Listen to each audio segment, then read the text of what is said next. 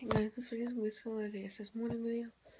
Yeah, I'll go with another short throat. Um, yeah, I kinda got sick. That was July. I'm sick. And yeah, I'm gonna get dressed now. Hey, now I'm dressed. So let's get my makeup on.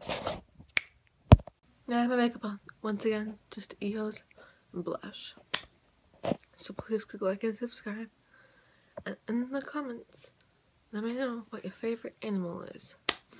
Also, I'll try to get more videos later, but I have to clean my room once I get home from school. I just cleaned my desk this morning. That's the main part my mom wanted me to clean. So, yeah.